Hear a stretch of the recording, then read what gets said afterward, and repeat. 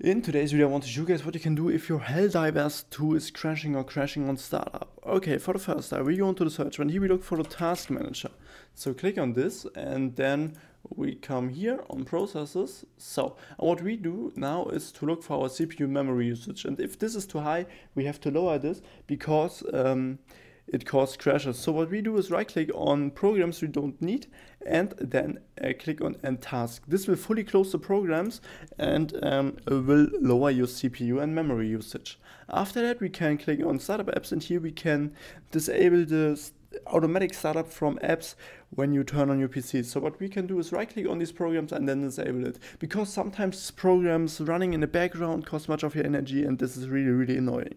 Okay, after that go in the search bar and here we look for um, where is it for the uh, no, sorry, I have a tip for NVIDIA graphic card users now. Download the NVIDIA app. In the NVIDIA app, you can easily install the best and newest uh, game ready driver for your graphic card, which is really, really important. For all AMD graphic card users, you have to go on the internet, type in your graphic card after the driver, and then there you will also find the best driver software. But for NVIDIA users, you can easily download the NVIDIA app, and there you have um, these options.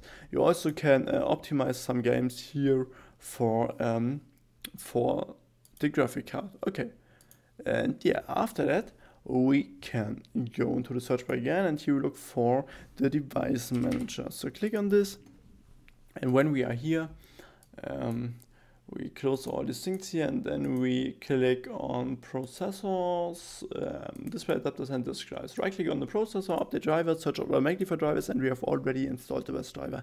And we do this with all processors here, all display adapters and all disk drives. And after that you can also go on the internet and there you can also look for the best driver for your graphic card and for your processor.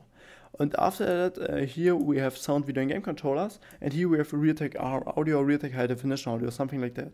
Right click on it, and then disable the device. And if you have sound problems after that, you can also enable it again. If I could help you with the video, please leave a like and subscribe. If not, write down in the comments, we will find a solution, and then see you next time.